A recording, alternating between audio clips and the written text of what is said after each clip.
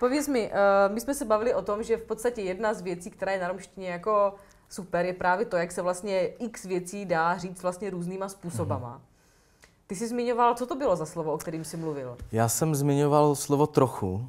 Ono jako existuje hodně způsobů, asi osm, a, nebo taky osm, co já jsem se učil, taky jsem to, že jo, skoro ne všechno si pamatuju, protože to nepoužívám samozřejmě, jo, používám asi pět z toho, jako asi tak nejvíc. Mm-hmm.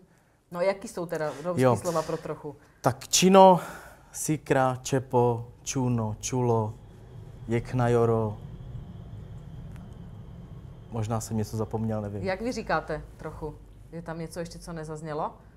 Nebo zazněli všechny, které se tady v Brně používají? Čepo. Čepo. V Brně se říká čepo. Jsem asi říkal čepo. Jo, jo, jo, znělo to tam. Sikra rozhodně, taky rozhodně. Jo.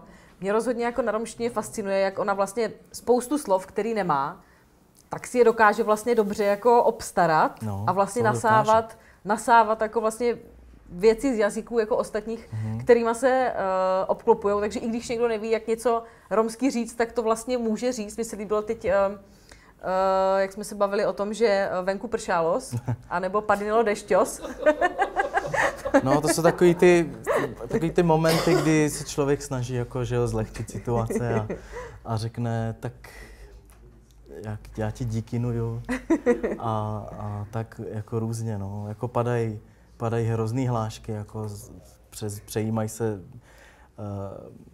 slova i z cizích jazyků, jako z angličtiny, z němčiny a pak se to právě přenese do toho romského syntaxu, teda jako do toho systému, který, no, jak my používáme, že jo, jak eh, používáme ty slova, jak je skloňujeme a tak, no.